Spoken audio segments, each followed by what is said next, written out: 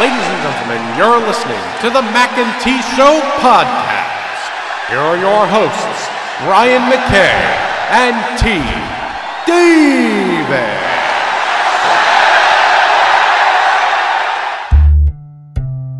This is the Mac and T Show. This is the Mac and T Show. We talk movies and TV shows, sports and world news, coasting like on a world cruise. Hosted by Brian Mackay and T Davis. Yeah. You can't tame us. We're going to the top, we're becoming famous. What time is it? It's time for the Mac and T Show. What time is it? I said it's time for the Mac and T Show.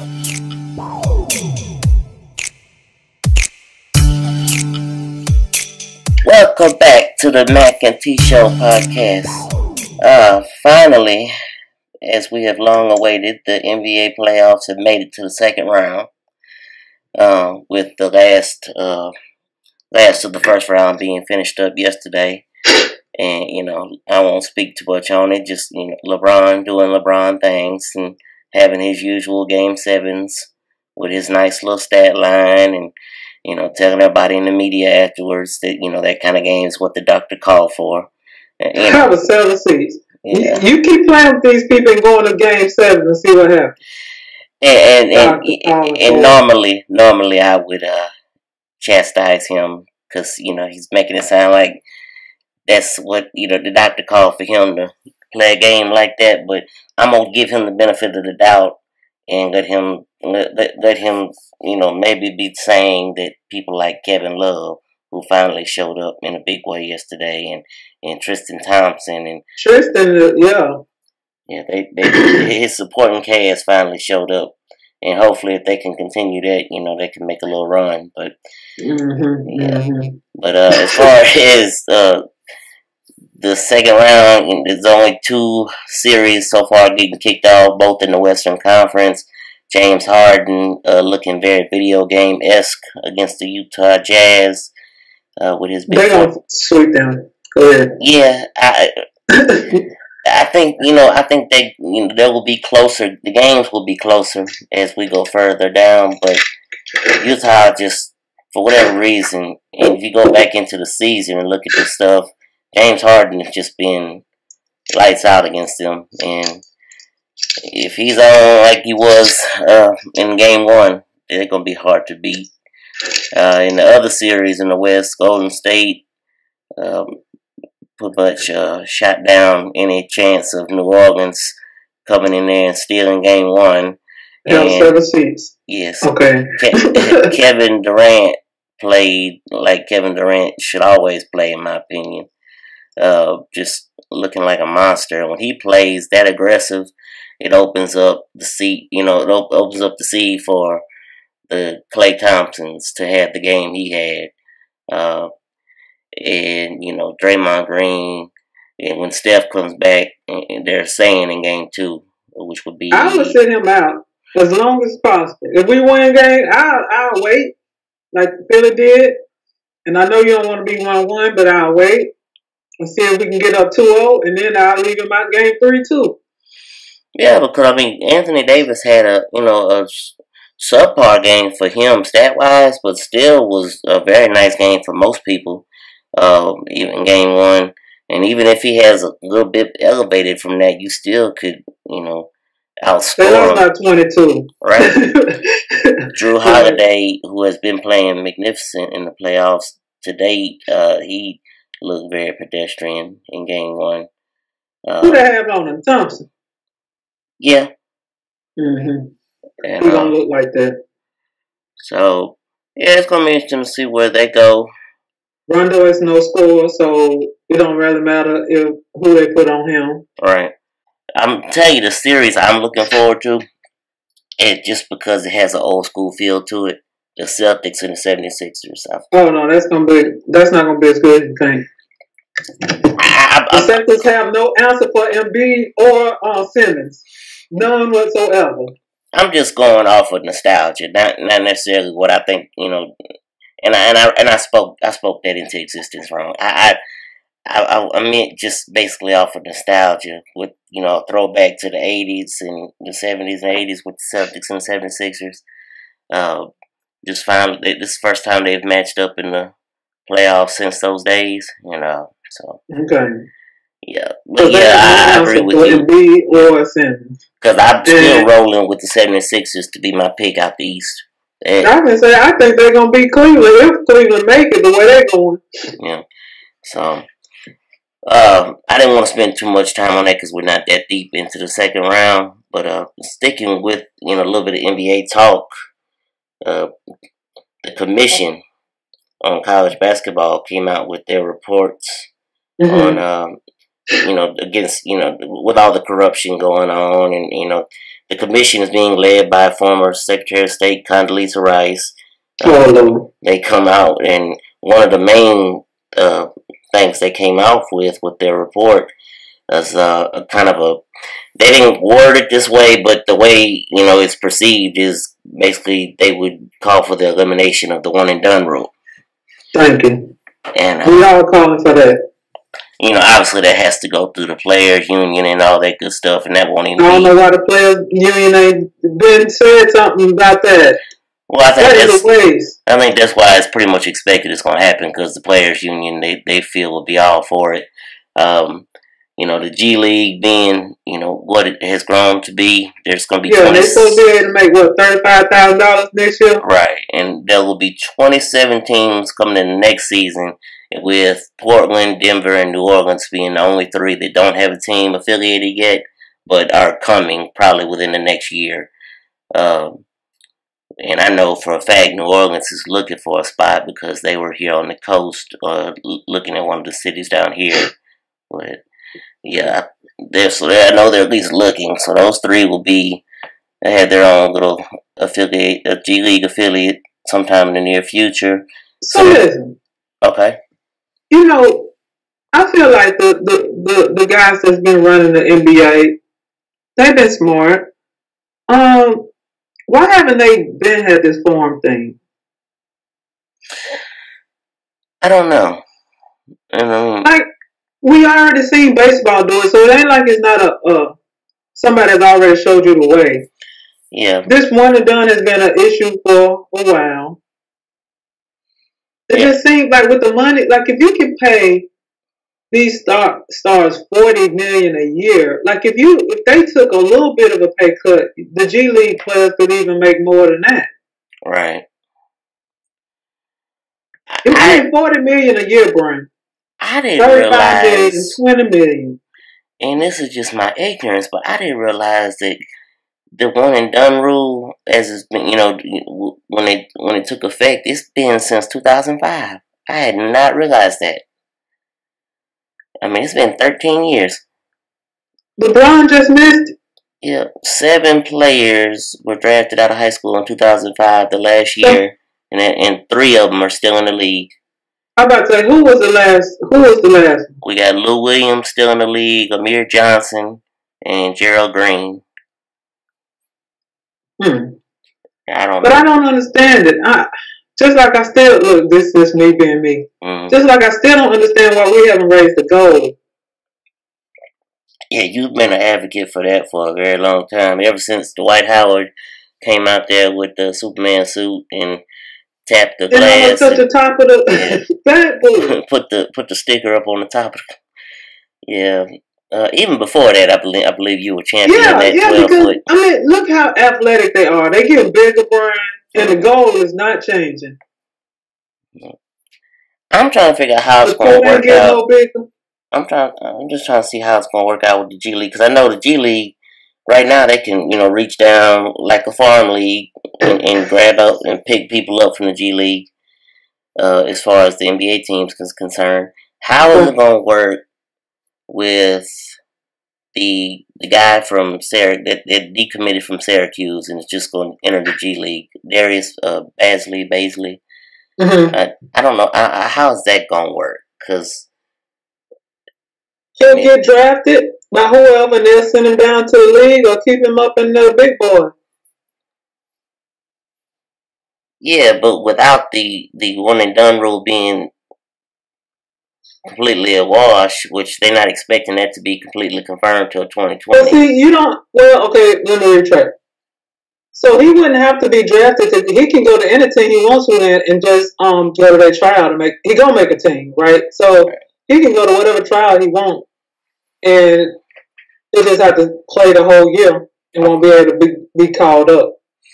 Yeah, that's gonna be good. But yeah, I did. I, I'm glad you said the the salary. I did. I didn't see the what the salaries were. Yeah, they said they they moving it up. I think to like thirty five thousand. And I was like, that's a good salary for most kids, especially you know. You're a freshman. I'm an 18 year old, 19 year old. Your first job making that. That's a good amount of money. Yeah, I mean that's If you comparable, wise with it, right? not running out here thinking you making 35 million instead of 35,000. Right. Be good. Well, um, moving on to another professional league, Who uh, needs to do the same thing? But I'm sorry. Go ahead. the NFL had their draft over the weekend and uh, la- later part of last week. Um, by now, and this is for the listeners, if you don't know all the picks and everything, I know we've we've done in the past where we've kind of gone and gone through who had who, you know, who did what and who who picked who, and just kind of I don't know. It's kind of monotonous at this point. If you haven't seen it, you obviously don't care enough about it.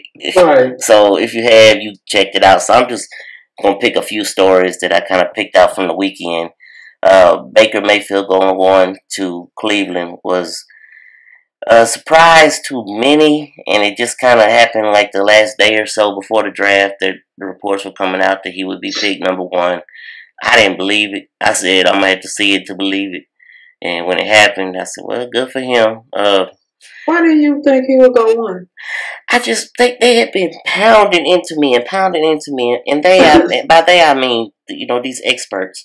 They've been pounding into me that it's going to be a Sam Darnold or Josh Rosen, Josh Allen, who had his own little troubles coming into the draft, which is completely ignorant to me because there's there's 12 and 13 year olds all over the place. On this is why I've been a proponent. What happened to Josh Allen? For anybody that doesn't know, he had some people pull up his old tweets from when he was back in middle school, high school. Y'all Uh, stop tweeting. I don't tell y'all to get on social is- media. Go ahead. This is why I have said since the beginning they should have all social media like it was when Facebook first started, where it was just you could you had to have a college email address. You had to be in college to uh, uh, you know and above to to have a profile. You should not when high school high school kids should not be able to get social media. That's just that's in my opinion. I feel like it would be a lot better place if so because you just you know there there are some who are just not mature enough to handle it, and he obviously wasn't. You know, going back and and that Pitt making such a big deal out of the things he said in his tweets, like he he was quoting rap lyrics in one of his tweets, and they made a big deal because he he said the n word and Well, he should have made a big deal. He shouldn't have been quoting nothing like that. just immature kids, and that's why I, I've always said that social media should be for a uh, much more mature audience. Well, so on some level, Brian, and, and we talking about high schoolers. Now they're still immature because they're adolescents. I get that. But if you think about me, you, your mama, my mama, Yeah. and all that, they should be a little more mature than, especially when it comes to social media, and know what happens when people, you know, dig up old posts and stuff. Like they should have seen it. At least when you buy your junior, senior, you sh- you should be like they find enough people to know when somebody make a bad post, it goes left. Well, Well, they don't put it to, to that they, they it's gonna happen to them because they never think anything's gonna happen to them. exactly, and, and there are now enough like social uh, social media and, and media in general training going on in college athletics that where they should have come into their mind. Okay, I'm getting ready to go in the NFL. Do I want to be embarrassed by stuff that I did in my past? Let me go and delete, delete, delete. You know, And really, part of that is your your family. Like that's part of that. Like we can't put it on Facebook. Your parents should be instilling in you from the jump. They know y'all who who, and if they if they feel like you don't, just say it in in general. hmm Look, whatever you put out there, you can't take it back. Cause soon as somebody screenshot it, whatever, you can delete it, but once they grab it, it's a done deal. so make wise decisions when you posting stuff. And if you don't post when you're angry, hungry, lonely, or tired, halt. Yes. uh, some other some other major stories uh, from the weekend. Lamar Jackson, uh, former Heisman Trophy winner from Louisville, Baltimore Ravens traded up to pick him at the last pick in the first round. Uh, so he will be a Baltimore Raven, backing up Joe Flacco. Uh, yeah, I like that pick. Good, good, yeah, good solid pick because Flacco is is seemingly hurt a lot the last couple years. So yeah, it's good, it's good insurance. on the downward and. Uh, Shaquem Griffin, UCF linebacker. That was cool. Yeah, that I did. That he was the one that got me coming back. You know, because I had stopped watching draft after like the ninth pick. so, uh, oh, so he was the one that kept having me come and just flip it back just to see has he been picked yet. Because I wanted to see where he got picked, and you know where his story continued. And in the fourth, uh, fourth round, I believe he was picked by the Seattle Seahawks, uh, reuniting him with his twin brother. So that's a, that's a nice little story. Um, let's see. We had, oh, I loved uh, Ryan Shazier from the Pittsburgh Steelers coming out to uh, announce their pick. Uh, and for those that don't know him, he was the one last year in the Monday Night Football game who basically was paralyzed on the field and is gone. Oh, that's the one. Okay, because I I didn't watch the draft at all, but I watched the highlight stuff. Mm-hmm. And I saw somebody helping him walk out there, and I was like, what is going on? Then I was like, well, maybe he just started walking again. Clearly he had, but I didn't know that's what happened. Yeah, that yeah, him and his wife came out there, which was a good moment.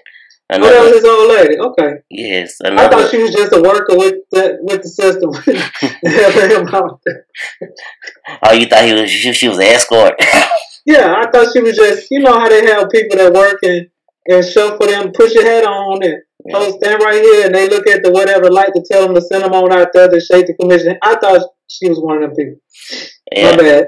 I, I don't know what I can't remember exactly what round, what pick it was, but I love this moment because it goes back to last year. I believe the draft was in Philadelphia last year, and uh, Dallas Cowboy Drew Pe- former Dallas Cowboy Drew Pearson came out and and you know, basically trolled the Eagles fans with a bunch of, you know, crazy comments before he announced the Cowboys pick. This year, uh, with it being in Dallas, former Eagles kicker David Akers came out and before he announced the Eagles pick, he, he let these comments fly. He said, Hey Dallas, the last time you were in the Super Bowl, these draft picks weren't even born. Tell him to sit down. Yeah, now y'all don't want a, a Super Bowl and acting up. I love it. I love you know I love the I love the pettiness. um, in the last little story I want just from the draft I want to show was Bill Belichick uh, breaking a, a I guess it was almost a decade long record of uh, most draft uh, most draft trades within a draft. He had eight trades this year. oh, and you know a bunch of draft picks, obviously, and they're set up really good for 2019 until he trades all those picks away. But right now, next year, next year's draft, they're gonna be featured uh, prominently. So, and I'm just go back to this real fast. Uh-huh. Well, I think one reason that the Browns took Mayfield is because like that, he he gonna bring hype. He gonna bring interest. People gonna want to see how well he does, and he's not like an awful quarterback. No, he's um, not. No, he's very good. He got a lot of swagger. Um, probably too much from some of his antics in college. So he got some growing up to do. But the other guys, I don't think they had it. Like I don't. I mean, I know a lot of them on the West Coast, so we never would have saw them. But yeah, they needed they needed more than just being a good football player. Yeah, because don't nobody really watch no Browns except the dog pound and people up there. I think the only other one in the draft really is somewhat close to being comparable to him is your boy Rosen, and that's only because he's just you know just very sure of himself and he and, and the way he presents himself in the media. I mean, and, and he even said, you know, as as he was he dropped ten when the Cardinals drafted up to pick him. He even said that you know he, nine other teams made a mistake. You know, made that kind of comment. Uh, so yeah, and and Sam Darnold is just that blue collar, prototypical, what everybody wants. You know, nice, good looking white guy. You know, tall. That's that's what everybody wants to be their quarterback in the NFL you know, all those GMs and owners and stuff. So he's just kind of the carbon copy of what they want. Uh, kind of a boring. And then Lamar Jackson, he's the exact opposite. He's what everybody wants to be in another position. So, yeah. Mayfield, very good quarterback. I think he's going to do well there. They have a lot of different pieces coming in next year on the offensive side with Jarvis Landry and you know, Josh Gordon will be back. You know, Barn, he don't have any outfield incidents this year. And you know, another questionable, and it could it could work out in their favor, and they could be looking like geniuses. But I was shocked that the Browns took your boy from Florida, Antonio Callaway, who really hasn't realistically hadn't really played since 2015. Like he, he didn't look like he was that good to me. I know it was a fourth round, but I mean, he played what? He caught that that catch at Tennessee, and then he got hurt and didn't play no more. Almost didn't. Yeah, well, he was hurt. Then he got himself into a bunch of like just kept getting himself in different little issues off the field. Um, yeah, I mean, if it works out for him, everybody, you know, at the draft was going on and on about how he had first round talent and. and well, he didn't. I ain't gonna say that's on him either, because yeah. apparently them coaches weren't good. Because I continue to hear when I go on um, the uh, Gator Nation 24 7 Gator, whatever, all that SEC and stuff, mm-hmm. they continually talk about how much different the atmosphere, how different, like, and you can even see the guys from the spring game, you can even see like even the the weight room guy, he got them getting bigger. Some of the guys posted like pictures of themselves with their shirts off, and he ain't had them but a couple of months. Oh wow! So some of it was probably the staff. Yeah. Um, so maybe he got a chance. Well, college athletics, gotta love it. Uh, yeah. Speaking of college football, uh, look like our our our just disdain and upset as we were with the end of EA Sports NCAA football series may be coming to an end here in 2020. Uh, well, mine ain't because I still I, I don't even have no video game anymore. But I ain't got time to be going through no roster and trying to to put the names in. I ain't got time for that, bro. Yeah, I mean, you you really just in your mind you have to to let that go to fully enjoy what's about to happen.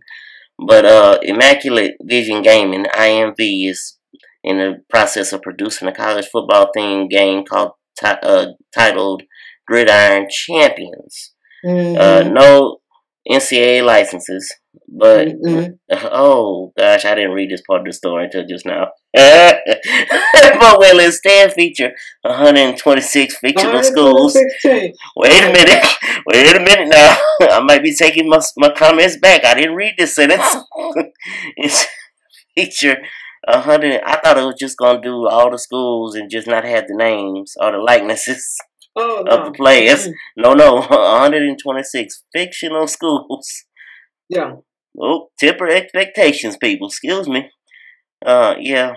Like I said, I ain't got time to go make me a SEC conference and all that. Like, and they probably gonna have the school set up.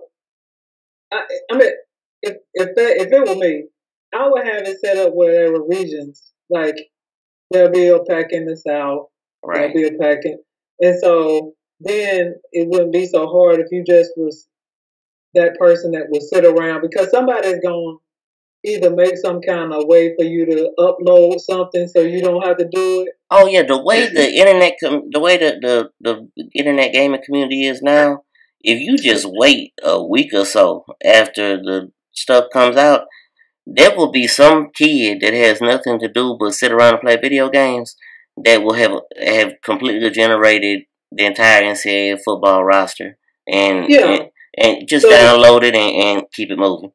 And That's that, what's gonna happen. yeah, I could. I was like, oh, that somebody gonna just go ahead and put the rosters in some kind of code or something so you can upload it.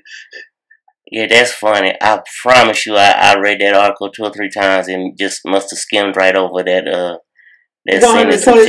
When I saw that just now, I hit my face. Mm-mm, I saw that, Brian. I don't know. I was like, 126. I ain't got time to be trying to make all these teams.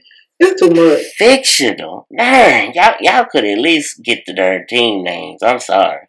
How many algorithms they don't have to make sure all like it ain't a couple of players that's just alike? Like, I mean, good night. when you talking about you got a, about a hundred, about a hundred guys on a team, that's a lot of people. Mm-hmm. Ooh, goodness. Well, so moving on from that, uh, that's pretty much all I had on my list. Do you have anything you? I know we're gonna get into Infinity War hopefully next week if we both be able to see it. Yeah. Um, yeah. yeah. Oh, do I have anything? No, anything that I have will be vexing. I don't want to vex people's spirit on Monday. Um, anything good happen? Hmm. I don't know. Any good news out there that we know about? I tried to come up with some.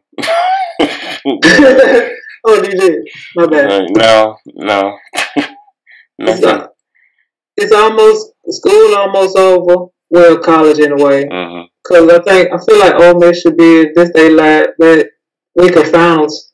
If it's not, it's next week. Yeah, it's always first, second week of May, something like Yeah. that. So people should be getting out of school. Um. Yeah. Uh, that's about it. Iran nuclear deal. No, I'm just joking. Oh, gosh. You're not gonna talk about the Iran, Iran nuclear deal and all that foolishness. oh, yeah. Yeah, I don't. I didn't really watch a lot. I didn't. Y'all, Lord, y'all know. I'm, everybody know T still don't have like no 32 inch TV. Like I don't even have no smart TV. I guess that's what y'all call it. And I saw a video at Walmart, and I was like, I was like, oh, it's 10, it's 1080 pixels. I was like, that's a that's a good price. And guess what I did? Walked right out. Yeah, I kept walking. I was like, uh, I don't really watch that much TV. And then I just kept going. So every time I tell my sibling, they be like, you ought to be. I was like, I know. It ain't about me not being able to afford it. It's just that I don't know why. But I told them I'm going to get me one this weekend. We're going to go shopping and get one. And then I'll just hook my little laptop to it when I watch movies. Because it's a shame. I still got a TV with a um, tube on the back. Yes. Oh, it's the one you gave me. I know. Look, I, I know. I know the TV. Yes, I know the exact TV you working with. The TV DVD player. Oh. I'm just glad to see that thing still working. It still works. My little remote still works. Uh, my little DVD player, everything still good. Well, that's all I use it for. I mean, I really can't hook nothing up to it anyway. Oh, one. I do have another something just came to me. Empire fans. I know I had mentioned that Alfre Woodard would be playing uh, Cookie's mom. She uh, made an appearance in a flashback this past episode uh, from Cookie's prison days.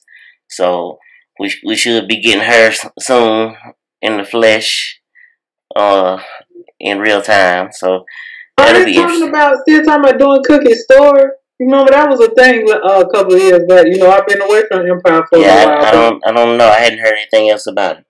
Oh, okay. But there's four more episodes uh, counting this week uh, through, for this season. So it's be interesting to see So- what it's, it's getting. It's getting to the nitty gritty. It's getting good. The storylines are, all coming I'm together. say you can cut this or not, but I need to know what happened in the last episode because the, the the internet tripping, and if you don't have like a t- cable code, they'd be like, "Oh, put your cable code in." I ain't got time. so what happened with Cookie? I know Cookie had the heart attack. I did see that. Mm-hmm. Um, she last episode she spent. You know, I, she had seen her her pound cake from her prison days, who has They got a great name. Yeah, pound cake. And Mm. child, child, child. What do you think her regular name, her real name is on the show? Not, not, not pound cake. It ain't pound cake. no, no. What you think her name is? Because she had, cause Cookie had to say her real name when she went to the hospital, thinking that you know that's how they knew her. Her real name on the show. Octavia. No, no, ma'am. Her real name is Sarah Lee Williams. That's why they call her Pound Cake. I Sarah go. Lee. I can't. I'm so done right now. I am so done and finished. Do you hear me? Look, when Cookie said that to the nurse, I'm I- Lee. I had to pause. I had to pause TV. pound cake, um, oh, aka pound cake. Are you joking? Like I mm. would think somebody was playing, like being funny. Go ahead, so cake. yeah, that he, she's she's dying basically of cancer. Oh no. She's in hospice. She's still in prison because you know she got out of prison in the flashback by basically turning in Cookie and them who were who were planning on getting at, getting back at the guard who had raped her and got her pregnant. Um, the pound cake that is. So Right. she turned them in, and because of that, she was released. But obviously, you know, as you see in Orange is the New Black, for people who watch that, they, uh, you know, se- seem like the system always get them, and she was back in it. Uh, not too much after that, got caught up. so she's been back in it, and and, and now she's dying of cancer. And Cookie was the visitor. They kind of reconcile their relationship, and she asked Cookie if she would kind of track down her daughter for because she she's not, you know, her daughter got taken away by the guard uh, after she had it, the guard who impregnated her and put Mhm. into the foster system. So Cookie tracks her down, and you know, this girl was raised by white parents, and she is a dancer, uh, kind of a ballet type thing. And Oh, so she's tripping. What's happening? No, no, no, I was- she's- oh, I like a- like, where did that go? yeah, she's like a, a professional dancer. I think at NYU. I think she- Okay. yeah, so she is there, and, and she initially didn't know how to uh, approach her, but basically when she did, the girl knew her as Cookie Lyon from Empire, obviously, and and told her, you know, basically Cookie used that to her advantage and got her to come in, made her think she was getting an audition for to be one of Tiana's backup dancers. And when Mhm. she got there, Tiana is on a power trip right now because she's got the number one single and she's too hot to trot. And people, And she engaged the old boy, right? Or did they uh, no, bro, they broke off right now. They, They broke off. that off. Okay. Now they they kind of on again, off again, but they broke off right now because she's just in another world right now. Because Forest Whitaker's character is trying to manipulate her into you know True. helping him kind of take over the empire that. or whatever. So Mhm. and she, you know she got the number one single, so she's all out there and you know big big headed and so she turned like she, she basically talks about the girl, trashes her, and the girl comes up to her like she's the biggest fan ever. But when the girl gets trashed, she kind of looks at Cookie, and Cookie then admits the real reason why she brought her there. And you know, I want you to come see your mama, this, that, and the other. And Mhm. the girl basically turns her down, and said, "No, you know, I'm not." She she calls her like a drug dealer, and and and you know, because she's never met her, don't know anything about her other than what people have told her. So she basically turns her down, and Cookie has to tell Pound Cake that it doesn't look like it's gonna happen. You mean Sarah Lee? Yeah, Sarah Lee. And you know, obviously, she's gonna continue to try and get her. That's that's basically where it's left off with them. Uh, Andre has admitted to Lucius that he was the one behind the bombing that messed up his leg and almost killed Right. him and Cookie. And he almost got Right. choked up. So yeah, Lucius has come after him. They they're kind of in the middle of kind of fixing their relationship while also taking down Eddie, uh, Forest Whitaker's character. Uh, you know, What happened with him and the uh, the white guy that he was trying to manipulate to get the to tell him he could get he could sell him Empire. That's still in the works. Still in the Oh, works okay. because this guy is planning on buying it, but he, they have it broke off in four different uh, buyers, and it's all under his Eddie Barker's, Forest Whitaker's, all Yeah, under his his ex wives.